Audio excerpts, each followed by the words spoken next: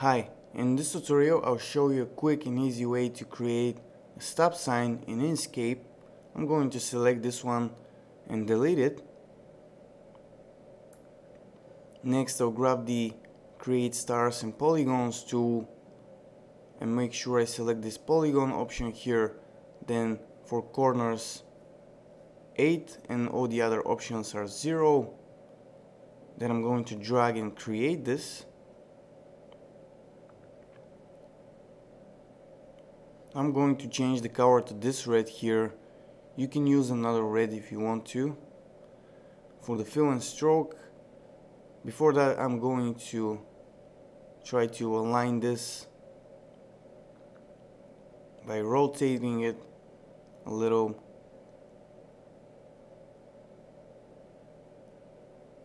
Maybe just a little bit more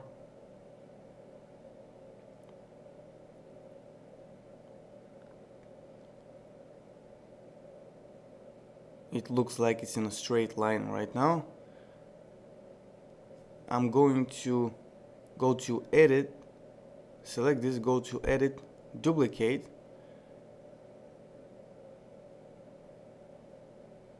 And then I'm going to resize this using the control and shift key make this bigger send it all the way down and select the top one. In here for stroke paint I'll select a flat color of white and then for the stroke style with 40 maybe we can even type in more 48 next I'll grab the text tool click here right stop.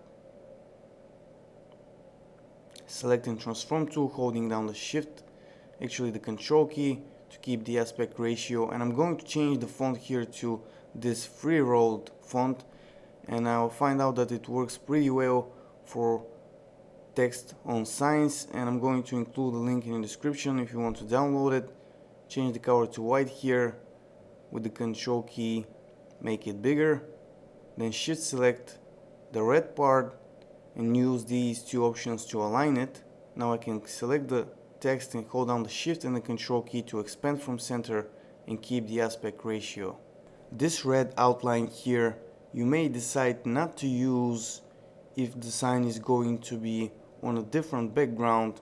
For example, if I create something quickly here, let's say with this color,